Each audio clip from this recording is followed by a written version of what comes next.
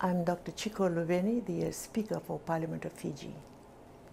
I'd say the Fiji Parliament is very strongly committed, and this has been evidenced in the uh, budget debate that we had only last week uh, as a result of uh, capacity building of uh, members of Parliament uh, to be uh, more SDG literate and to address SDGs in the development programs of government. We had a budget debate last week in which um, many ministers um, aligned their budget allocations to programs to uh, achieve the uh, goals of the SDGs.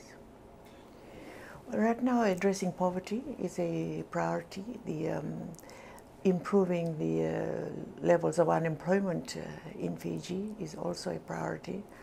Um, the other SDGs, we are we are on track actually, uh, almost there, or we will be there by 2030 uh, given that uh, we already have a national uh, development plan in which the SDGs have been mainstreamed.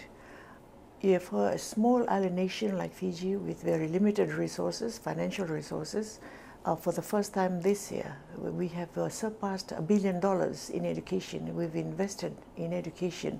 The definition of poverty um, at the UN level um, is really based on monetary poverty.